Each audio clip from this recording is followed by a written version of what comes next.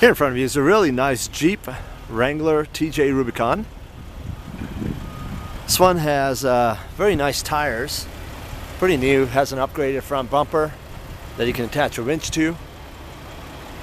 No dents or scratches or anything like that, anything major. It's pretty clean, really nice curb appeal, runs great.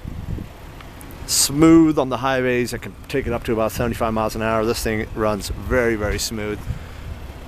The back uh, soft top has a couple little spots on it. Uh, back here it's got a slight little tear, but overall uh, not too bad. It's got a little tear on the other back side too, which it's a zippered window and can be replaced. Uh, back bumper also has been uh, upgraded. It's got a tow package on it. Uh, pretty standard. It hasn't been lifted or anything like that, so it drives really, really well. Inside, um, you got two-tone seat covers. Also the back matching. And it is a six-speed manual. It's got the axle lock. 92,000 miles on it. Comes with AC, tilted, uh, tilt steering, and a uh, CD player.